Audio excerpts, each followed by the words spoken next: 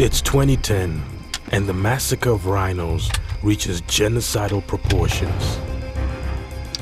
Sophisticated crime syndicates control the rhino horn trade.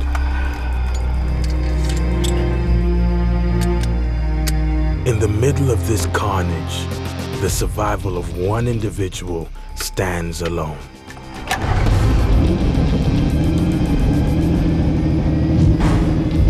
Her name is Phila, and this is her story.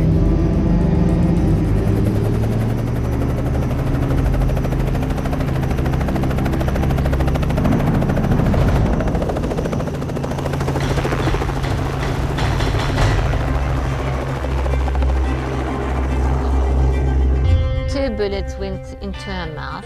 Five times in the head. Eight uh, positive hits. There's one of them that's still stuck inside there. I don't, I don't know how she survived. You almost want to inflict that same kind of disrespect on the people that are capable of doing that. There were different targets in the past. The bullets would have been fired somewhere else, perhaps in the city, for other lesser prizes. No one would have even known Phila's name. But then something happened. The game changed. And Phila was caught right in the middle of it. They come in, they do their dirty deed, and they gone. And it's like military precision. It was well organized, it was planned.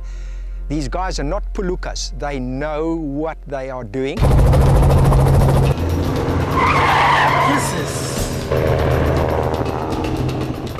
are you ready? Yeah, yeah, red for you.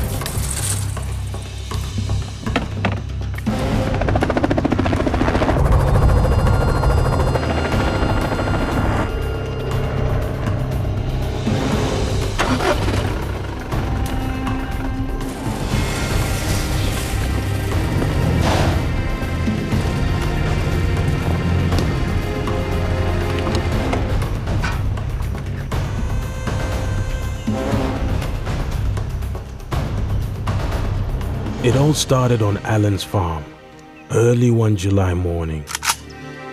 Phila didn't have a clue what was coming until her foot exploded.